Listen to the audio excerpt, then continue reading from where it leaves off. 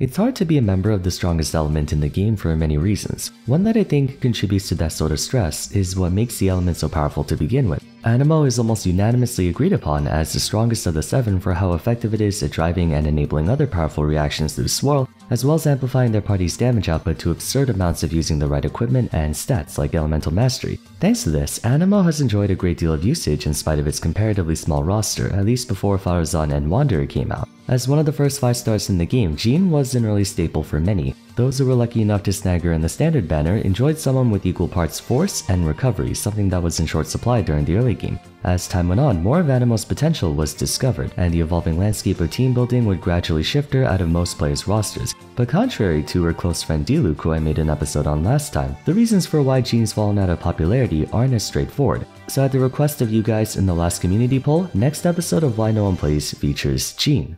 Before we talk about Jean though, we first have to talk about some Valentine's Day stuff even though it's already passed, courtesy of our sponsor for today, Empires and Puzzles. You may have heard of it before. It's a free-to-play 3-match puzzle RPG that was one of the first of its kind to combine the two genres together. Like any 3-match game, the goal is to score as good of a combination of shields as possible to damage your enemies. You can collect over 400 heroes based on different elements very similar to Genshin, such as fire, ice, holy, dark, and nature. And every month, there are new units available to summon. Train them up and build their talent tree to upgrade your team's overall power. The game is entering its 6 year anniversary, so for new players, you have no shortage of content to go through, including weekly events, themed challenges, and feature rollouts. To commemorate the passing Valentine's Day, there's a new event called the Season of Love running right now, featuring 5 Cupid themed heroes and 20 stages with 3 difficulty modes. So for all you Sigma gamers out there who skip Valentine's Day for the grind set, this is right up your alley. If you're interested in trying out something to play while you wait for your resin to refill, then download Empires and Puzzles using the QR code on screen or my link down below. Thanks again to Empires and Puzzles for sponsoring the video, but for now, let's go back to no one plays Jean.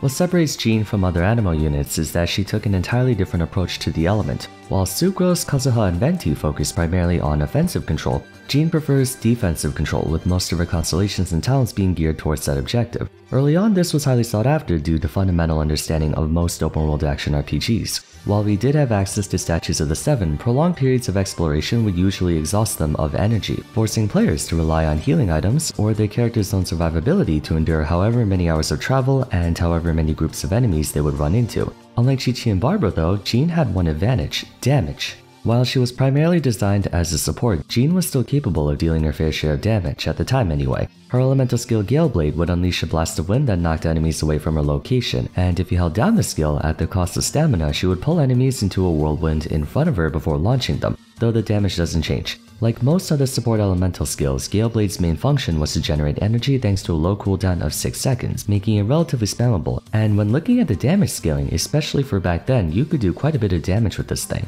Not only that, but Jean's healing scaled differently from the other two, being based on her attack power and not maximum health. This meant you didn't have to compromise on damage to keep your team alive.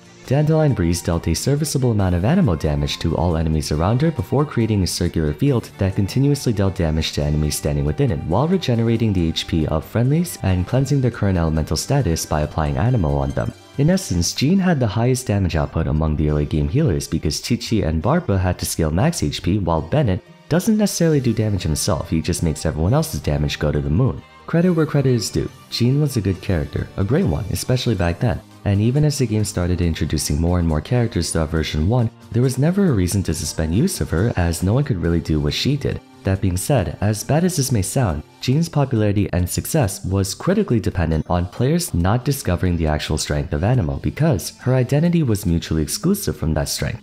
For most of the Why No One Plays episodes, there's usually a recurring problem with them in that they're either not strong enough, require more investment and party resources than are worth, or feel really bad to play. But Jean doesn't exactly have any of these issues per se, she's quite effective as a healer even now. I would go so far as to say she outstrips Kokomi when it comes to burst healing, since her ultimate does a massive amount of healing on cast, whereas Kokomi has a delay on her skill, and she has to be actively attacking opponents to heal her team. Jean's not particularly expensive to work on from a defensive standpoint either. She doesn't really require any constellations or even a powerful weapon to do her job. In terms of party occupancy, she's an excellent quick swapper, taking no more time to use her skill and bursts as your Xingqius, Bennett's, what have you. And by no means is she clunky to use, quite the opposite. She's one of the more user-friendly characters out there, and far more comfortable to use than like Qiqi who struggles to be consistent even as a healer. Her normal attacks also have a 50% chance to heal her team just like how Kokomi and Qiqi heal on autos, and can even provide unique support boosts to her team like Anemo Cleanse, which may seem irrelevant, but when you think of all the bosses or dungeons that screw you over for being afflicted with a certain element and none of them are Anemo, having that cleanse is very convenient.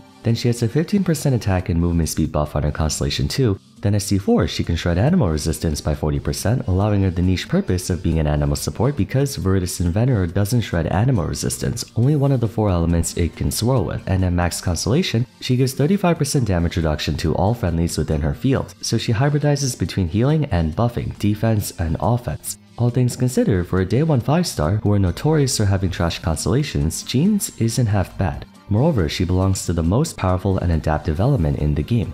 What's the issue then? It's because she belongs to the strongest element that it actually works against her more often than not. Anemo is not inherently an offensive element, it's an enabling element used to empower the four elements it can interface with Pyro, Hydro, Electro, and Cryo. The strength is indirectly attributed, therefore having multiple sources of Anemo doesn't offer the same return on investment as that of the others. For example, Hydro is one element, where the more the merrier. Xingqiu and Yelan comprise a double Hydro squad. Nilou, Nahida, Xingqiu, and Kokomi feature three Hydro units. This applies to all the other elements too. Electro units are paired very often for the sake of Aggravate and Taser teams. Pyro units are joined together for teams like Raiden National featuring Xiangling and Bennett. Cryo units work in tandem with each other to achieve freeze more consistently. Even the other two elements, Dendro and Geo, are birds of a feather as well. It's not only reasonable but encouraged to have pairs of the same element since you can gain access to their corresponding elemental resonance, some of which are incredibly valuable. Pyro gives more attack, Hydro gives more HP, and many Hydro units are HP scalers. Cryo gains crit rate, Geo gets a metric ton of stuff, the one elemental resonance that isn't conducive to active combat is Anemo, decreasing stamina consumption by 15%, increasing movement speed by 10%, and lowering skill cooldowns by 5. Sounds impressive on paper, but not many care about stamina consumption since they don't use charge attacks anyway. Movement speed isn't really a combat stat in this game since most of the time you iframe through stuff, and 5% CDR isn't really that much. Consequently, this makes Anemo a very competitive element, as you almost never want to have two in one party unless you're running Wanderer or Xiao as your main, now when we remember that Anemo's main functions are crowd control, reaction chaining, and damage amplifications, this puts Jean at a massive disadvantage when trying to earn a spot in your team even though she's a fantastic character. Her biggest problem is that she's a healer and defensive support in the one element where you really don't want to be. Were she any other element, Pyro, Hydro, Cryo, Electro, what have you, I'd go so far as to say she'd be a tier 1 character. Maybe not tier 0, that's too generous, but she would be used a lot more. The job of Anemo is to force all enemies into a tight area, get lots of reactions off as possible, and amp your team, none of which Jean is really able to do. In fact, she does the opposite. While Galeblade draws enemies near the point of impact and keeps them close together, they're launched far away from a location, requiring you to chase after them. This alone wouldn't be cause or concern as they're thrown at a distance that would be favorable for range follow-ups. It's the others that compound on top of that. If you look at the ability descriptions for Galeblade and Dandelion Breeze, neither of them absorb other elements and change color. You know, the very aspect that defines the Anemo element. Mind you, it doesn't prevent her from achieving Swirl, as that's a different thing, but elemental absorption is what makes Anemo so broken in the first place. It enables characters like Sucrose, Venti, and Kazuha to effectively double as a Pyro, Hydro, Cryo, or Electro unit. That's a lot of potential damage you miss out on. The head scratcher here is that Jean's Galeblade bears a lot of resemblance to Traveler's Palm Vortex. There's no reason why it shouldn't have elemental absorption when she creates a whirlwind that can pull enemies and objects toward it. Dandelion Breeze would have also been a great ability to assimilate elements. It deals periodic Anemo damage over time, just like how Sucrose and Kazuha's burst deal periodic Anemo damage.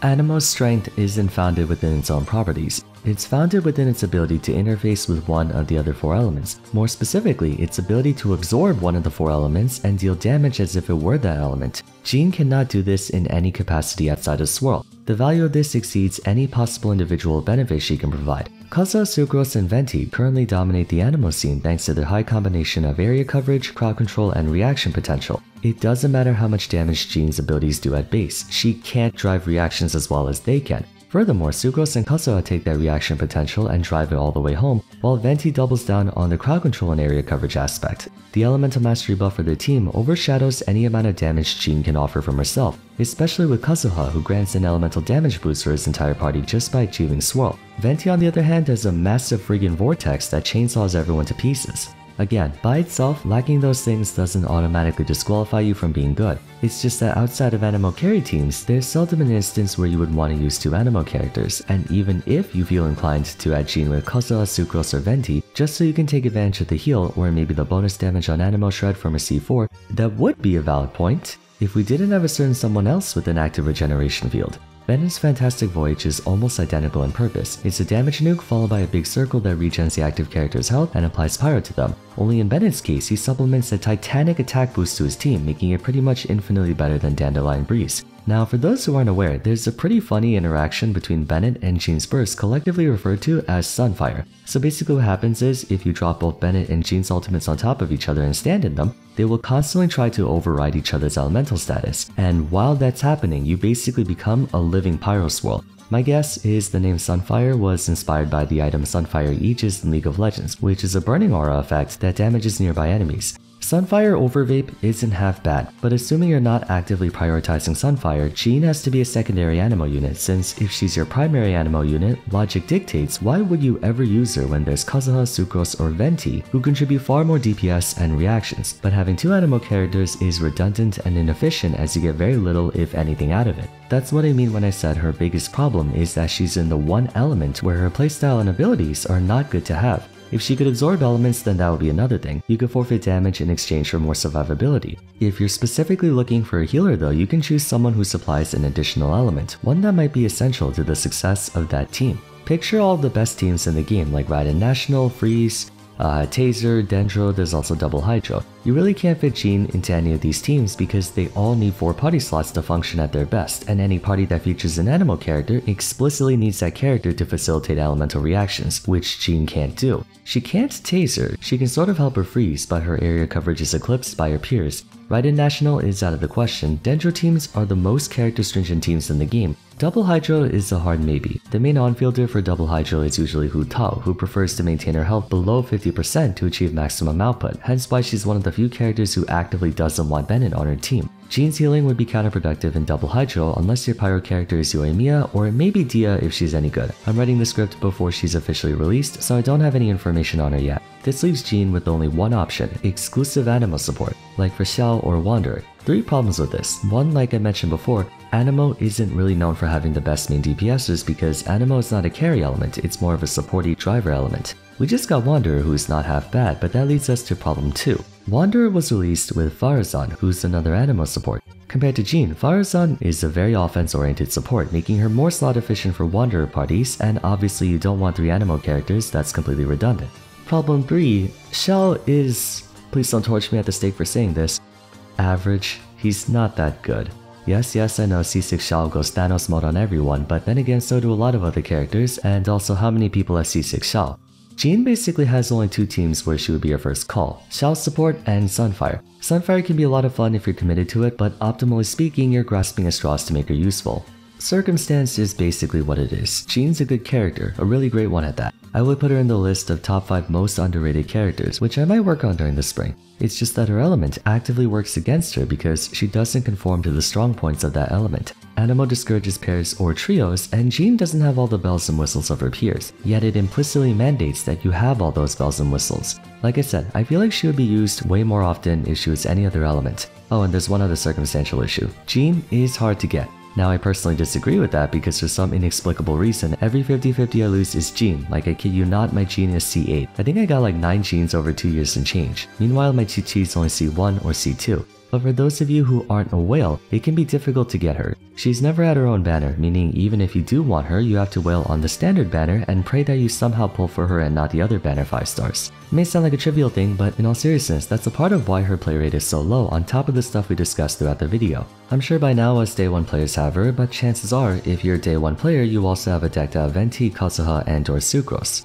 Do I think she has a chance to see a resurgence in the meta? Absolutely. If we get bosses or enemies that deal a lot of damage and have a debuff effect where you get screwed over if you're afflicted with Pyro or Electro or something, then we will most definitely see Jean become relevant again. Not sure how long that will take, seeing as Genshin prefers to not delve into complex combat mechanics and whatnot, but contrary to popular belief, she's not a jack of all trades, master of none. She is in fact a specialist, just an extremely niche one.